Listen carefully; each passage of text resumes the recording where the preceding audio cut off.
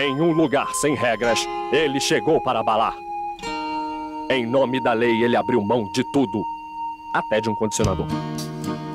Ele é Sarara Kid.